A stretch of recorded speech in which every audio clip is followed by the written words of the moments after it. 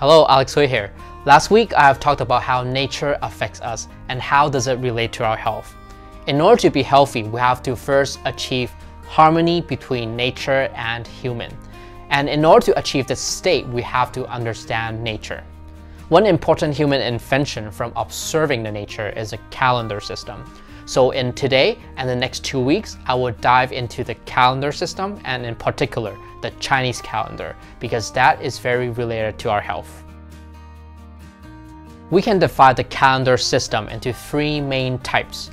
The solar calendar, which uses the sun as a reference, the lunar calendar, which uses the moon, and the lunisolar calendar, which uses both the sun and the moon.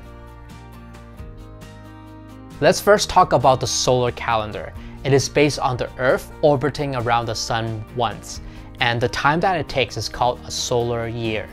There are many different types of solar calendars, but the most popular one is the Gregorian calendar, which most countries use today. And in a Gregorian calendar, a year is divided into 12 months, from January all the way to December. And as we all know, it takes about 365.24 days for the Earth to revolve around the Sun. So that is the reason why in some years we have the leap day, which is on the February 29th. And during leap years, we have 366 days. The lunar calendar is based on the moon. One example of the lunar calendar is the Islamic calendar. And based on the 12 lunar months per year, one lunar calendar year is 354.36 days. The Chinese calendar is a luni-solar calendar system. So in other words, it is a hybrid calendar that combines both the solar and the lunar calendars. For the solar portion of the Chinese calendar, a year, which is the time that it takes from the Earth to revolve around the Sun once, is divided into four seasons, spring, summer, fall, and winter. And the reason why we have different seasons is because the Earth is tilted. So in different locations around the orbit, we have different weathers because there's a different sunlight intensity. So each season is divided into six different sections. So in total, a year, we have 24 different seasonal sections, which we call 24 solar terms. And in the next week, I'm going to be talking about much more details about these 24 solar terms. For the lunar portion, as I mentioned earlier, is 354.36 days in a lunar year. And that is different from that of 365 days of a solar year. And there's a total of 11 days of difference. And that could create some problems. For example, in a Lunar New Year's Day, this year it could be in the spring, but other years it could be in summer, and some other years it could be in the winter. So there's no consistency between the solar portion and the lunar portion of the Chinese calendar system. However, it's good that we have a solution. Just like the Gregorian calendar, which adds in the leap day, February 29th, the Chinese calendar system adds in a leap month. So during a leap year, instead of 12 months, there are actually 13 months. And the general rule is that every 19 years, we add in seven leap months.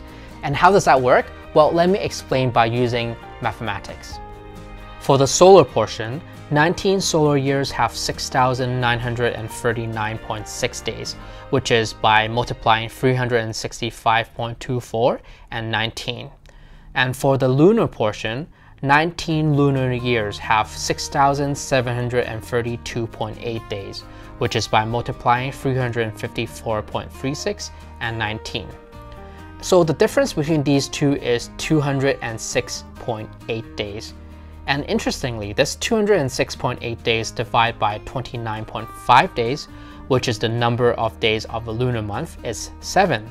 So that is why we add in 7 leap months in 19 years of time, in order to match the solar and the lunar portion. One thing to keep in mind is that the first day of the solar cycle and the first day of the lunar cycle, in most cases, it is not on the same day. So for example, the upcoming new cycle of the Chinese calendar, the first day of the solar cycle is on February 3rd, 2021 in Gregorian calendar terms, and the first day of the lunar cycle, which means Lunar New Year, is on February 12, 2021. One interesting fact is that the 12 animals from the Chinese zodiac system, it actually starts on the solar cycle, but not on the lunar cycle. So which means in this upcoming year, the year of the ox, it actually starts on February 3rd instead of February 12th. Also, in the Chinese calendar system, we don't use the year 2020, 2021. We have a completely different naming system for the years. And this is not within today's topic, but I will do a video in the future about this. So this is a little introduction to the Chinese calendar system. I hope you find this interesting. Next week, I will be talking more about the 24 solar terms in detail, and then the week after, I'll be talking about the lunar portion. I remember one of my acupuncture professors once said, learning Chinese medicine is not easy because we don't just learn Chinese medicine. We have to learn modern medicine, we have to learn geography, astronomy, philosophy, mathematics, and so on in order to get the whole picture. And I agree, it is um, not easy to learn, but it is very interesting. And the more I read, the more I feel that I don't know. But luckily, I'm really enjoying this learning process. Well, anyways, thanks for watching today. If you have any questions, leave in the comment section below.